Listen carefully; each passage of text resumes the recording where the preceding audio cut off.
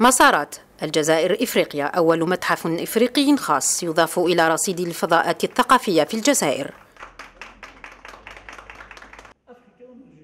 عبد الكريم بن باحمد صاحب المتحف يعود بذاكرته حول جذور المشروع. تاريخ افتتاحه يصادف ذكرى رحيل زوجته الباحثة أمينة بن باحمد. المسارات الجزائرية الإفريقية يفتح أبوابه هي اللي قالت. نعمل متحف.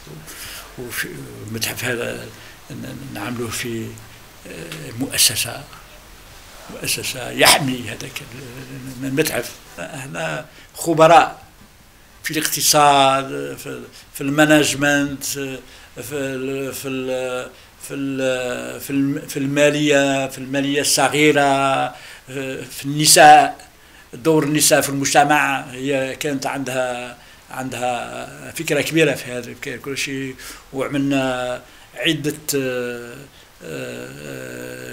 كتب عن عن هذا كل شيء. أقنعة حلي خزف أواني من الفخار ومن الخشب الأسود. مخطوطات أكثر من خمسة آلاف قطعة أثرية تعرض للزوار بعد عملية تنظيف وترميم. عمي رشيد احتاجني في لا ريستوراسيون بور فيغ الميناجمون تاع الموزي تو لقيت روحي هنايا.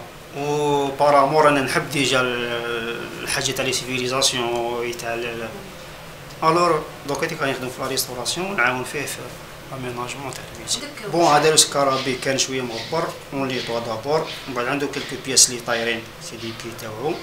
لي طاتيرو ومن بعد نحوسو عليهم parce que كاين des pièces لي راهم مخبيين. alors كل حاجة نحوسو عليها ونديروها في بلاصتها.